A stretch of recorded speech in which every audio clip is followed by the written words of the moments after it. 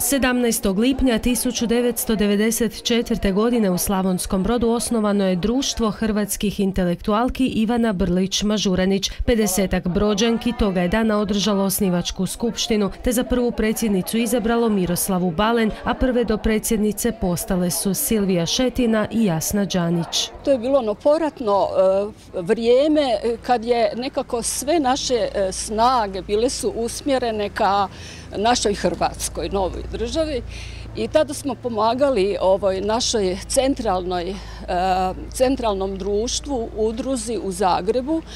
E, oni pisala su se pisma stranim državnicima, predstavnicima u Evropskoj zajednici koja je tek bila tada u začetku, ali je već postojala. Kasnije su išle na mirotvorne teme, a geslo njegovanja poštenja, plemenitosti i domoljublja ostalo je, kažu, do danas. Mi smo se bavili prije svega sa promicanjem žene u društvu. Radili smo na pomoći, radili smo na samoj edukaciji nas članica i drugih i radili smo na činjenju usluge nekome drugome u onom smislu pomoći pri recimo učenju, pomoći pri napredovanju u znanju. Prva dva desetljeća postojanja Brodske su intelektualke proslavile u travnju na sam rođendan književnice Ivane Brlić-Mažuranić po kojoj društvo nosi ime.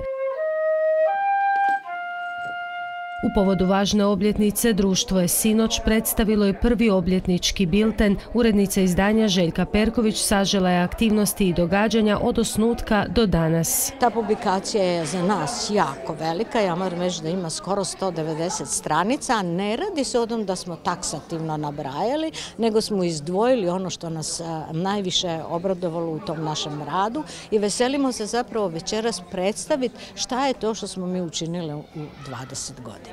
Hallelujah. Uz pjesmu najstarije građanske udruge u brodu Hrvatskog pjevačkog društva Davor članice su se prisjetile proteklih 20 godina. Iza njih su uz humanitarne djelatnosti brojna događanja. Organizirale su pjesničke večeri, predavanja s različitim temama, neizostavna druženja. Sudjelovale su i na brojnim europskim konferencijama. Kolegica eh, Ana Matković je bila u Engleskoj. Ja sam bila u delegaciji Hrvatske kad smo 2000. išli u Kassel u Njemačku.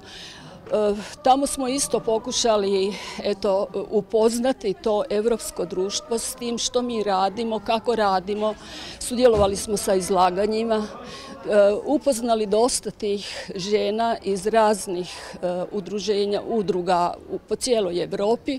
Tako da mislim da smo se uspjele dosta eto, plasirati u, to društvo. Ostalo je tako do danas, jer uz središnjicu u Zagrebu upravo jedna od najaktivnijih udruga intelektualki je Slavonsko-Brodska, koja s ponosom ulazi u treće desetljeće svoga rada i postojanja.